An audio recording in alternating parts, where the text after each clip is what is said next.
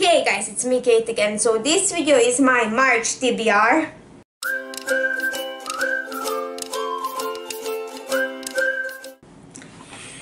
So let's go with Bookopoly roll number one.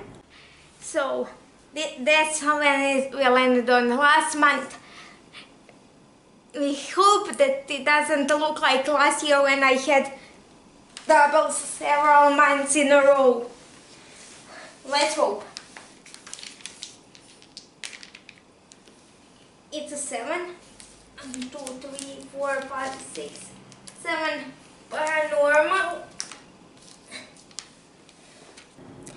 Rule number 1 Legends in Paranormal and for that I'll be rereading Witchblood by Lisa Casey in which in this one following Sebastian who is a kitsune which is Japanese nine-tailed fox spirit with elemental magic uh, and ever since something happened to him a year ago, he's been on a run. Up until now, when he bumps into an alpha werewolf named Liam, who actually saved him a year ago, and stuff goes from there. Let's go into roll number two. Let's go with the roll number two. And it's three, one, two, three. It's paranormal again. Rule number two landed us on uh, paranormal and uh, on paranormal again.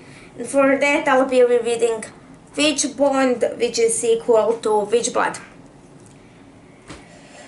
And then let's go into our third and final roll. Let's go with the roll number three.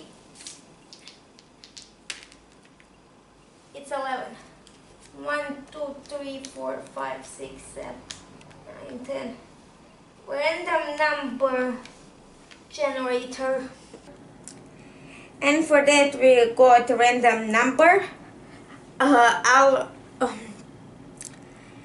I have a short list of four books and I'll insert what number comes uh, on the generator here.